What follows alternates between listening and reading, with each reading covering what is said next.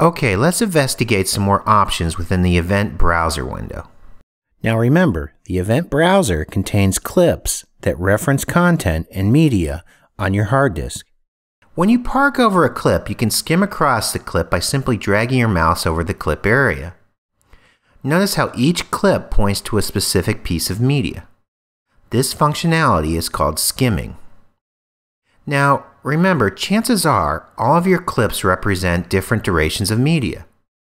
This makes it a challenge when trying to skim through clips that have a long duration. So check this out. I'm going to click on the skateboard media event. In this event, you can see that we have one clip that is at least 10 seconds long.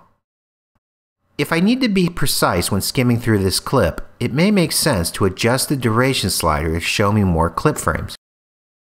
By changing this duration slider, you can tell Final Cut Pro to give you a larger clip area to skim based on the media that each clip points to. So if I adjust this duration slider to 2 seconds, each of these blocks represents 2 seconds of media. Since there's no traditional source window within Final Cut Pro 10, this slider becomes a critical component of being able to skim through your media.